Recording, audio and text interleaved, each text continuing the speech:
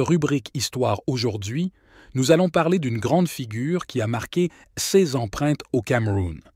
Il s'agit du pionnier de l'Église catholique dans ce pays. J'ai nommé Monseigneur Gérard Henri Vieter. Biographie de Monseigneur Henri Vieter. Henri Vieter, Gerhard Heinrich, est né le 13 février 1853 en Allemagne, dans la région Westphalie, à 4 heures du matin. Sa maman, Katrina Elisabeth Kortmann, a eu au total six enfants. Henri est le deuxième. Il est un enfant doux et obéissant. Il travaille plus et parle moins. Johann Théodore est son père. C'est un agriculteur. Il travaille beaucoup avec ses enfants dans les plantations. Il leur apprend aussi à prier et à être discipliné. Il les habitue à lire régulièrement la Bible et à réciter le chapelet. Dès le bas âge, à six ans, Henri commence à aller à l'école pour apprendre à lire et à écrire. Sa maman meurt alors qu'il n'a que sept ans. Henri aime beaucoup le travail manuel, malgré son genou qui lui fait très mal.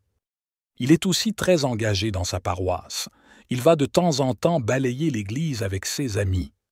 À 13 ans, il reçoit la première communion le 25 avril 1866. Vie active. Henri Vieter désire bien continuer à fréquenter, mais à cause du manque de moyens, son papa l'envoie apprendre la menuiserie chez un expert. Après son apprentissage, il est directement recruté dans un atelier à Kappenberg.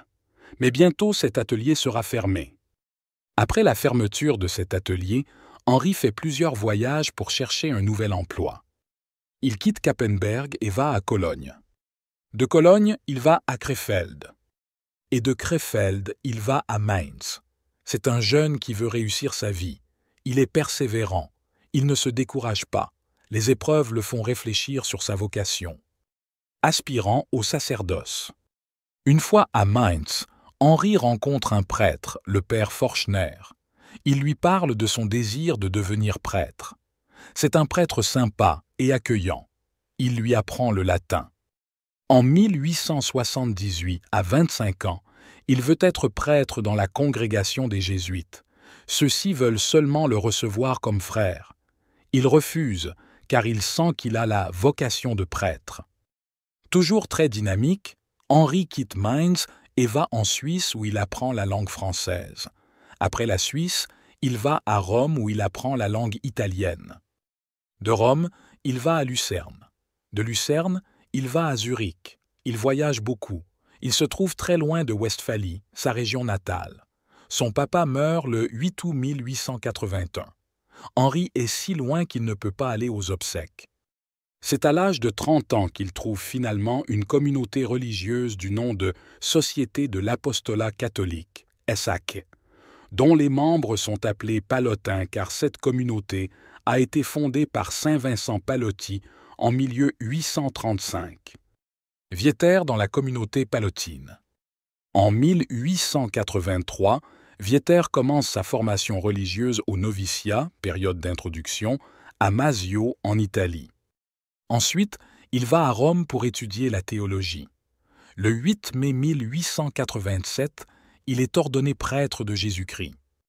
Après son ordination, il est nommé recteur de la maison de formation des séminaristes palotins de Masio, au nord de l'Italie.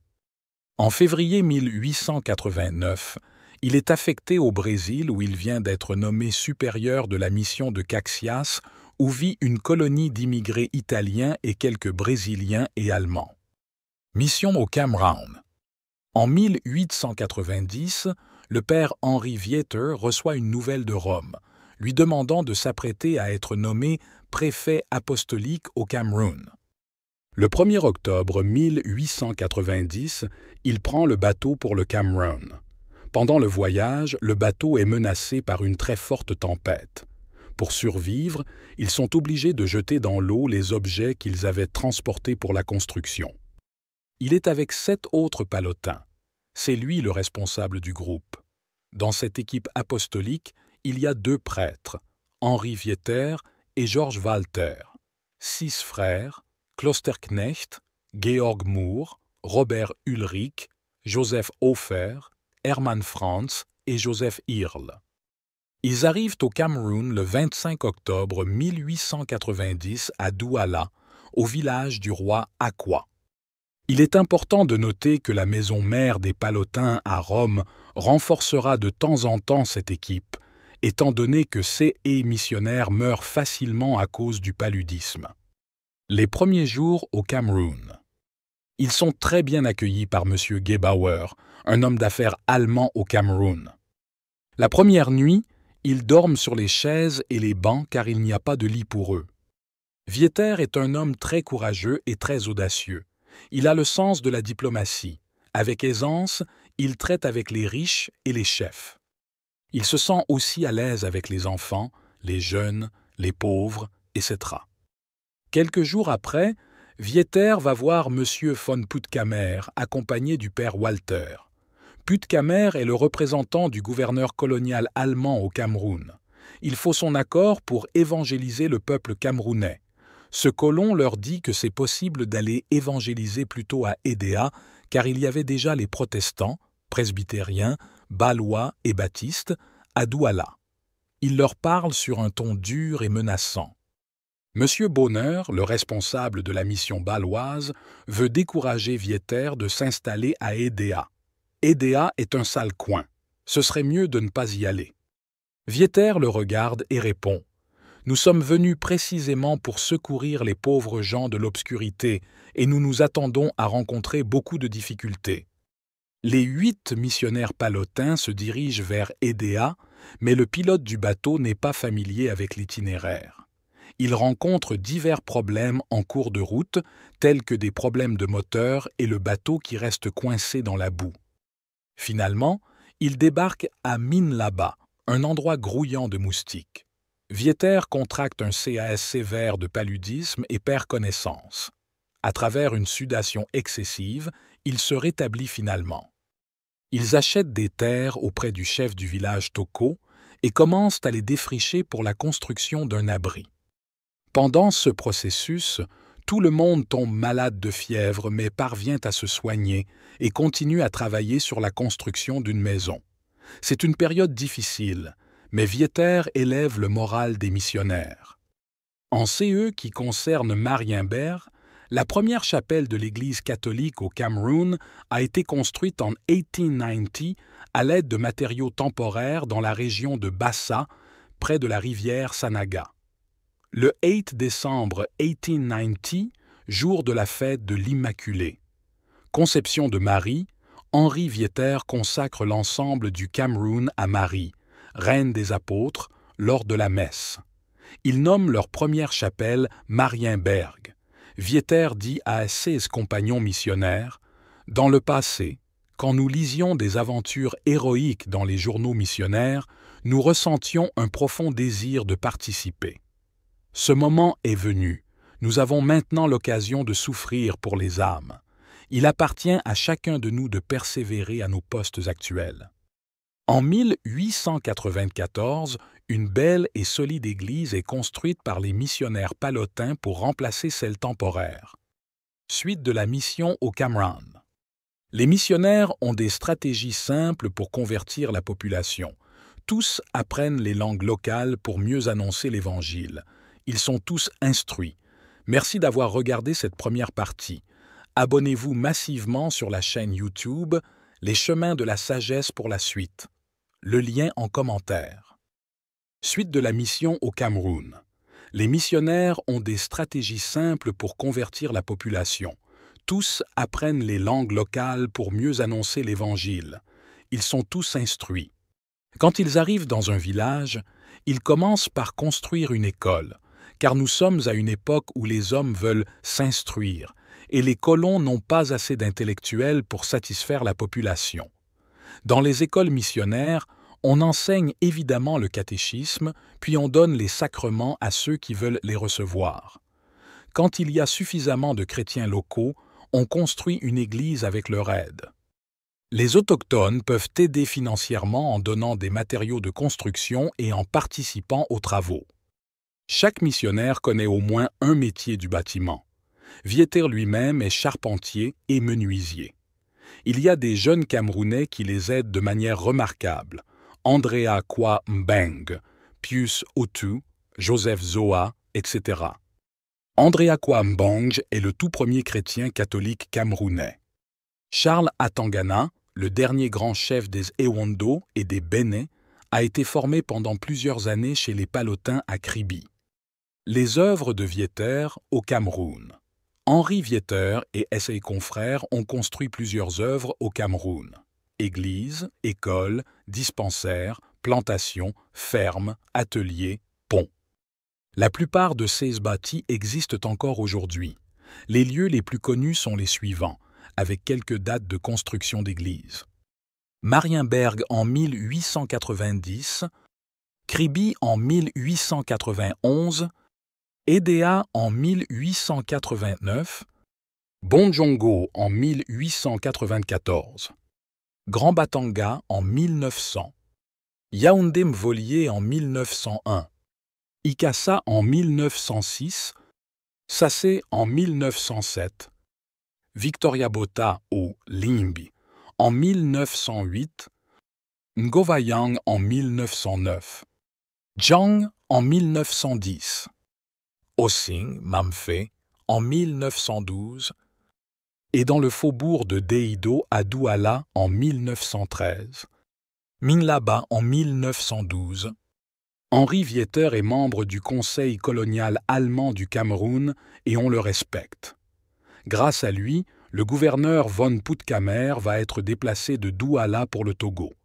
Ce gouverneur voulait chasser les autochtones Douala de la côte pour les intérêts allemands et Vieter n'était pas d'accord. Le 8 août 1914, le roi Douala Mangabel et son secrétaire Ngosodin vont être assassinés pour le même problème. Vieter va s'opposer en vain. L'ordre de leur assassinat vient du gouverneur allemand Karl Ebermeier. La même année, on tue Martin-Paul Samba qui luttait aussi contre la colonisation. Henri Vieter a créé plusieurs groupes de prière dans l'Église, Confrérie Saint-Joseph pour les hommes, l'Association mariale pour les femmes, l'Association Sainte-Agnès pour les jeunes filles, l'Association Saint-Jude pour les jeunes garçons, l'Association de l'Enfant Jésus pour les jeunes garçons, l'Association Sainte-Anne pour les femmes âgées, etc. Vieter engage son confrère, le père Walter, à réconcilier les Bakoko en guerre contre les colons allemands. L'épiscopat d'Henri Vieter. Le 22 janvier 1905 en Allemagne, par Monseigneur Dominicus Willy, Vieter est consacré évêque. C'est le premier évêque du Cameroun et le premier évêque palotin. La fin de sa mission. En 25 ans de mission au Cameroun, les Palotins ont converti des milliers de Camerounais. En 1914, le Cameroun est affecté par la Première Guerre mondiale. Les missionnaires allemands quittent le Cameroun. Vieter attrape une crise cardiaque et meurt le 7 novembre 1914 à Yaoundé à Yaoundé, à 8 heures du matin. Le corps de monseigneur Henri Vieter est enterré le même jour à 17 heures. Son corps repose au cimetière de Mumvoli jusqu'à ce jour. Il est considéré comme le fondateur de l'Église catholique au Cameroun. La procédure de béatification est en cours. Le 15 août 2017, le Vatican a validé l'ouverture de la procédure de béatification de Monseigneur Henri Vieter. Cette procédure a été confiée à l'archidiocèse de Yaoundé.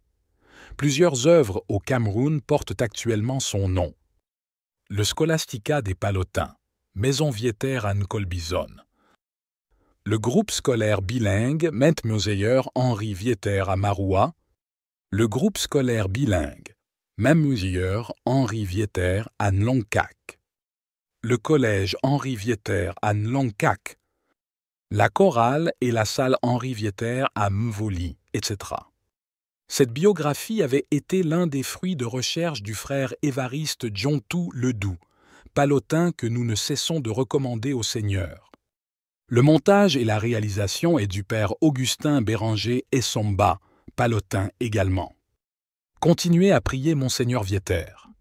Si vous avez des signes suite à cette prière que nous dirons juste après, n'hésitez pas de vous adresser à un des prêtres ou frères palotins de la province du Cameroun, qui saura vous orienter vers l'équipe chargée de recueillir des informations pour la cause de sa béatification.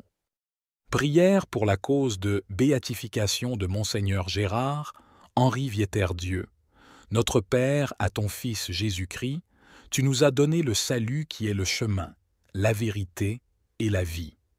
Par ces apôtres et leurs successeurs guidés par l'Esprit Saint, tu nous as donné l'Église sacrement de notre communion avec toi.